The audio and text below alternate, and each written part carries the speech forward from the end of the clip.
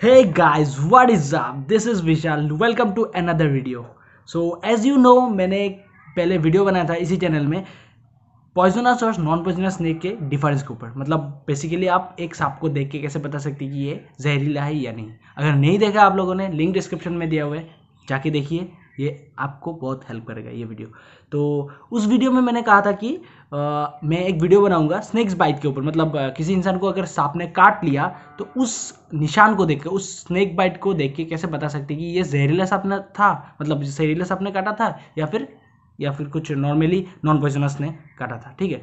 तो वीडियो शुरू करने से पहले अगर आप सब नए हो तो प्लीज़ सब्सक्राइब कर देना चैनल को और अगर थोड़ी सी भी अच्छे लगे तो लाइक और शेयर कर देना दोस्तों के साथ। तो let's start the video stay tuned guys as you can see here this is poisonous snake and this is non poisonous ये पॉइजनस स्नैक है। और इसमें क्या है?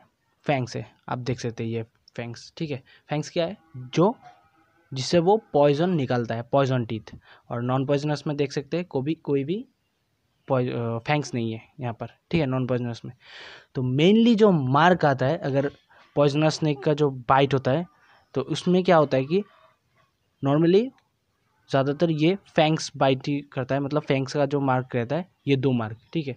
और नॉन पॉइजनस में क्या होता है, इस तरह, इस तरीके का मार्क होता है। In most of the cases non poisonous में ऐसा ही होता है। लेकिन पॉइजनस में कुछ अलग अलग होता है। सोचिए अगर ये आप आप अगर ज़्यादा क्लोज आ गए मतलब वो पॉइजनस स्नेक जो है वो अगर ज़्यादा ज़ोर से काट लिया मतलब पूरा मुँह खोल के अगर काट लिया तो इसमें क्या आता है? कुछ इस तरह का के इस तरीके से कुछ मार्क आता है जो कि इसका जो, जो यहाँ पर जो टीथ है ना तो वो आके उस टीथ का मार्क आ जाता है यहाँ पर ठीक है? ये ज़्यादातर नहीं होता अगर ज़ोर से काटा तभी ये मार्क आएगा।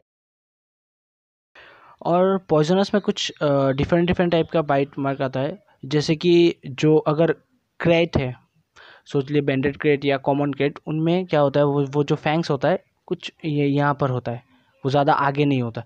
ज़्यादातर कोबरा एंड वाइपर्स जो स्नैक है, उन लोगों का आगे फैंक्स होता है तो ज़्यादातर उनका मार्क ऐसा होता है। लेकिन क्रेट जो है बैंडेड क्रेट हो या कॉमन क्रेट तो उनका मार्क कुछ इस तरीके का आता है, सोच लीजिए इस तरीके का मतलब ये इस कुछ इस तरीके का।